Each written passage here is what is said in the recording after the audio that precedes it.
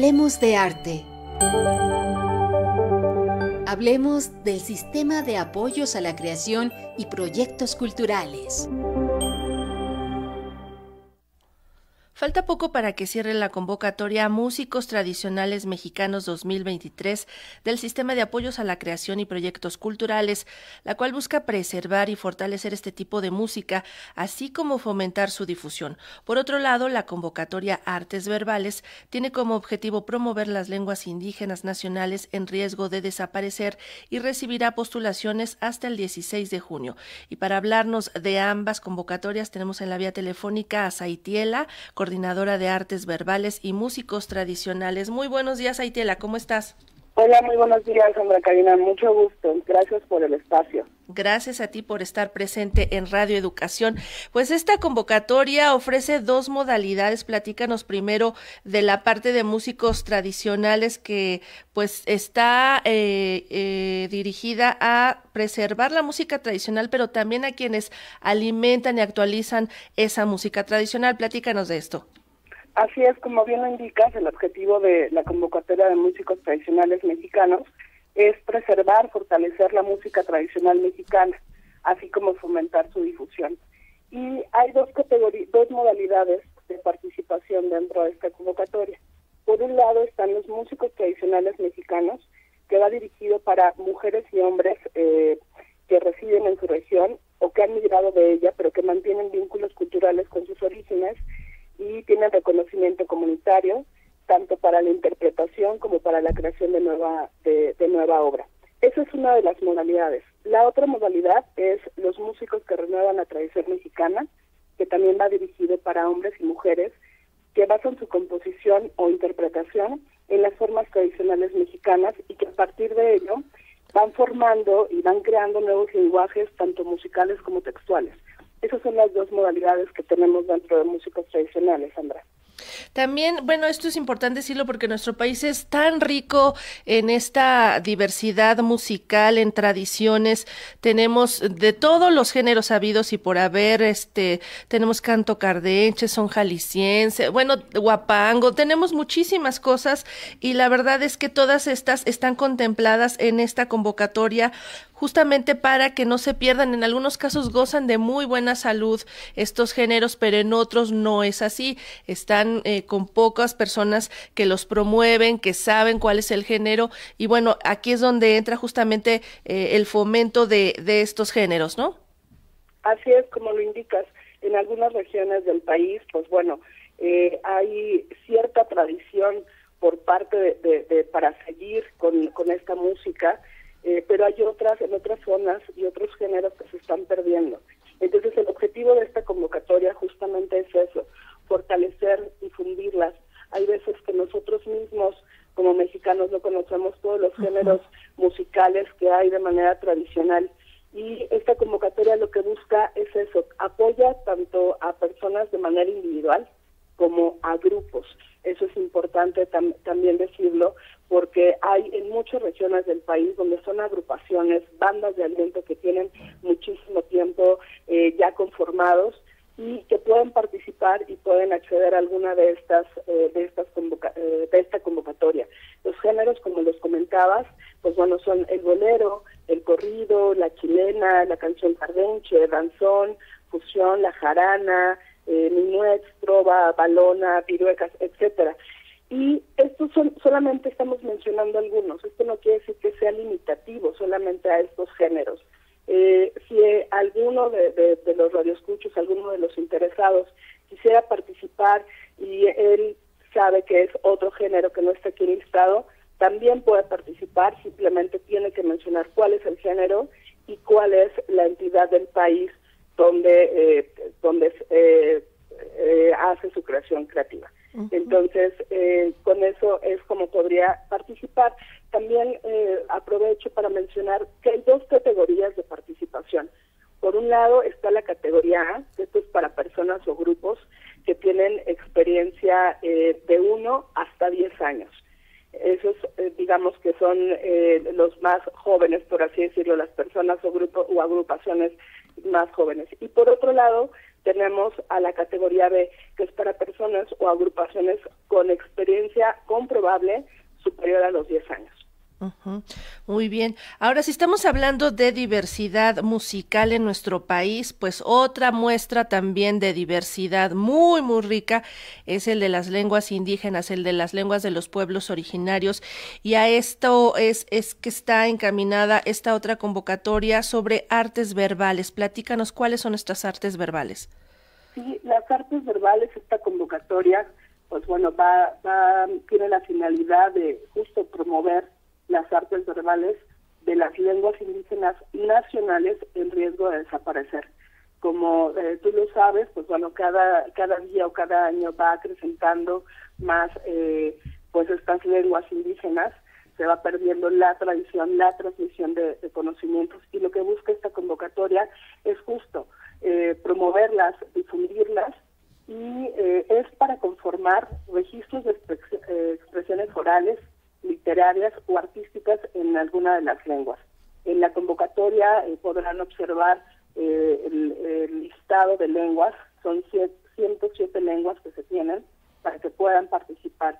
Y eh, las especialidades o donde podrían desarrollar proyectos los interesados puede ser en biografías o historias de vida, monografías, registros de fórmulas verbales, como pueden ser adivinanzas, arrullos, este, refranes, rezos.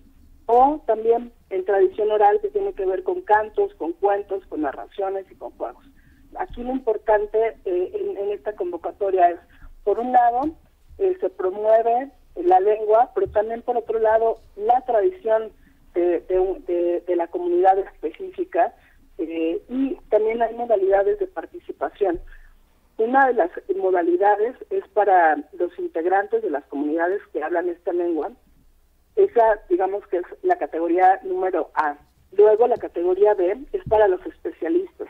Hay muchos antropólogos, sociólogos, lingüistas que están inmersos dentro de las comunidades que conocen perfectamente bien, eh, que han vivido dentro, dentro de ellos, conocen las necesidades, están haciendo investigaciones y esa, esa categoría también la abrimos para ellos, especialistas en los campos, así se llama.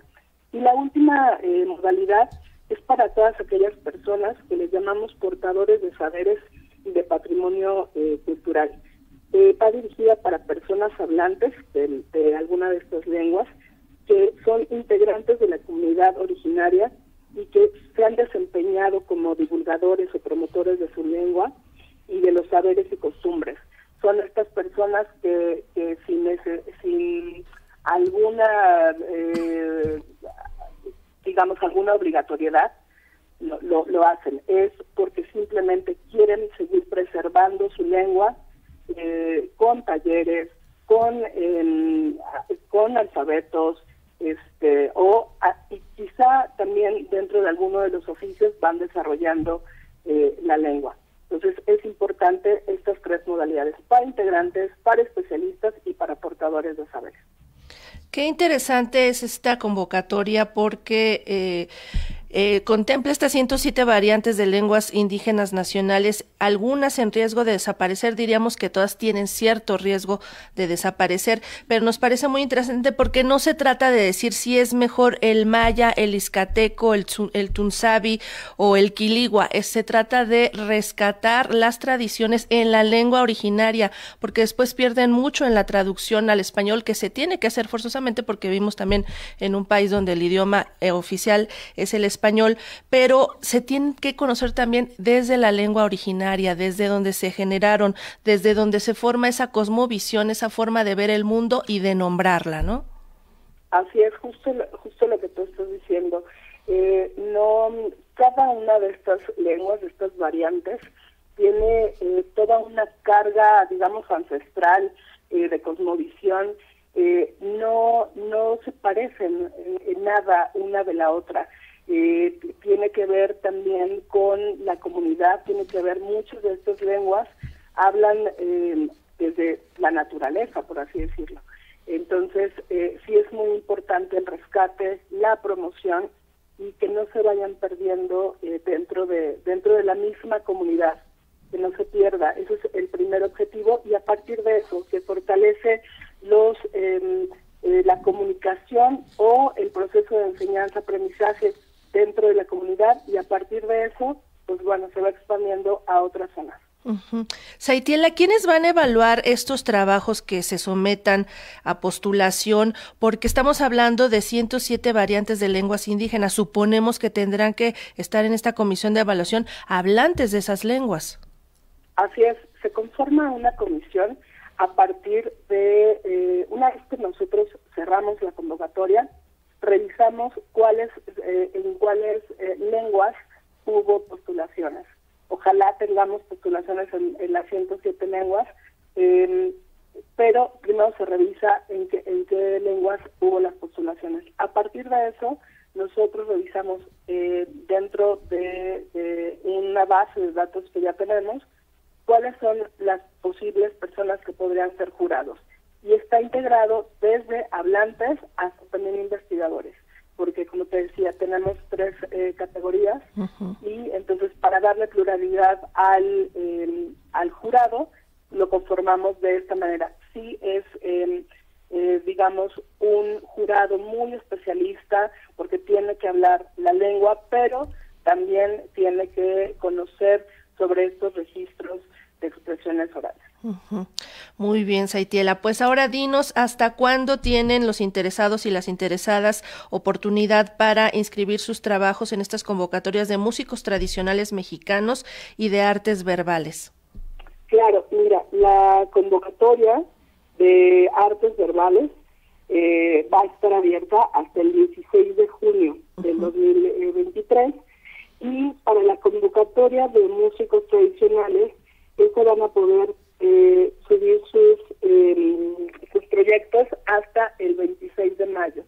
Es importante comentarles que aquí a, todas las personas que estén interesadas en postular alguna de estas dos convocatorias, que se acerquen, que nos marquen, que nos manden un correo electrónico.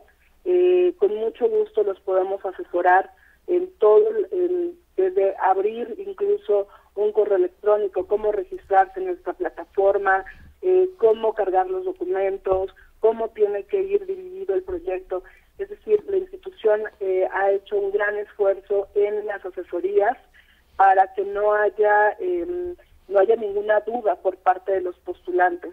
En ocasiones lo que ha pasado en músicos tradicionales, que de algunas comunidades la cabecera municipal eh, se coordina y convoca y damos conferencias eh, o bueno este tipo de asesorías mediante alguna plataforma digital para que todos eh, pues bueno puedan tener la información más a la mano. Entonces les pedimos que por favor quien tenga alguna duda se acerque con nosotros. Con mucho gusto los vamos los vamos a asesorar y los vamos a apoyar los eh, correos electrónicos tanto como los números vienen dentro de, em, de las convocatorias respectivas que pueden consultar en la página de internet del sistema de apoyos a la creación Así es, pueden ustedes encontrar más información en fonkenlinea.cultura.gov.mx y en el caso de la convocatoria de artes verbales también en www.inali.gov.mx. Saitela, te agradecemos mucho la información de estas dos convocatorias.